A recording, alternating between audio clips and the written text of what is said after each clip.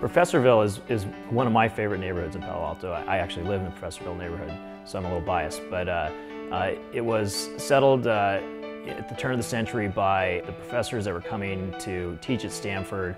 Leland Stanford wanted them over on the campus, but he wanted to lease them land. They didn't like that, so they came across the street and bought their own land and built their own homes.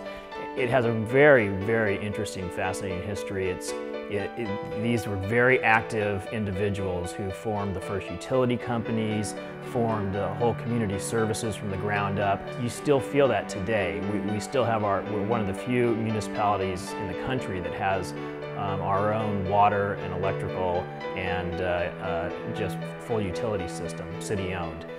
This neighborhood still has the character from those professors and from their, and it, it carried on into the entrepreneurship. Professorville is where the Hewlett-Packard garage is located. It's right in the middle of, of Professorville and it's now Hewlett Packard fortunately bought it recently and renovated it and it looks great and there's a plaque in front of it and people can come by and see it.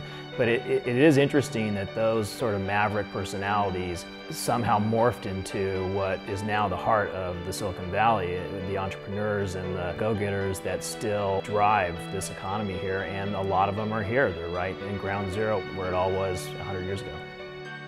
This is a very, very strong family neighborhood because of the schools are so good. People buy in Palo Alto and buy in this neighborhood for the elementary school, the middle school, and the high school.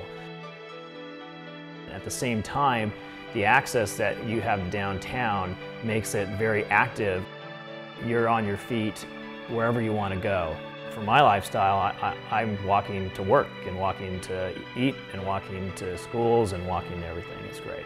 Uh, there's no doubt that the technology of the valley permeates you know everything we have here but at the same time it's, it's a thriving culture and you have you know empty nesters or young professionals. It really kind of fits fits everybody. And that is actually what's very neat about this neighborhood in general and the location in general is that it is varied uh, and it has a lot of very demographic in it. And you just have a really really neat bunch of people that are your neighbors and it keeps things lively and active. Uh, you've never seen a city council meeting until you've seen one in Palo Alto.